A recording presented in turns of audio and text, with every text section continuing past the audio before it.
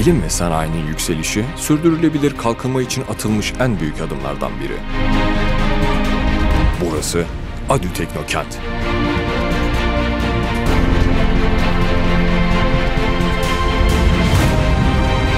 Yenilikçi kadrosu ile sınır tanımayan düşüncelerin gün yüzüne çıktığı Aydın'ın en değerli bilim merkezi. Bu platform, inovatif deneyimi olan girişimcilerden yatırımcılara, akademisyenlerden kamu kuruluşlarına kadar birlikteliğin ve beraberliğin verdiği mücadele ruhu ile sanayinin gücünü birleştirerek istikrarlı bir şekilde geleceğe koşmaya devam ediyor.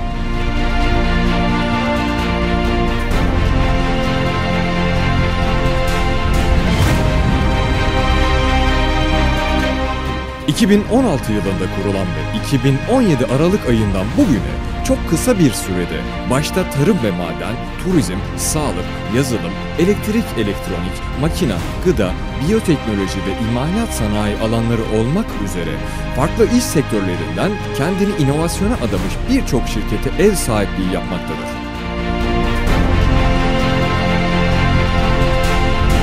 Türkiye'nin en büyük bilim merkezi olma hedefiyle yola çıkan ADÜ Teknokent, laboratuvar ve araştırma merkezleriyle özel ve kamu kuruluşlarına araştırma ve ölçüm yapabilecekleri bir sinerji ortamı oluşturmaktadır.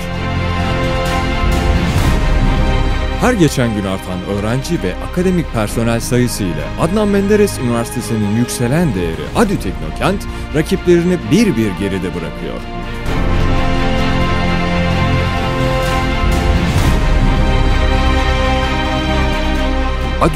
Teknokent, ön kuluçka merkezinde bir fikrim var diyen tüm girişimci adaylar ile çalışmalarını sürdürmektedir.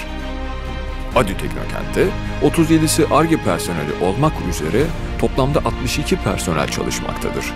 Yılda ortalama 30'dan fazla projenin hayata geçirildiği Adü Teknokent sadece 2018 yılında 10 milyon TL'ye yaklaşan değerinde ticari hacim yarattı.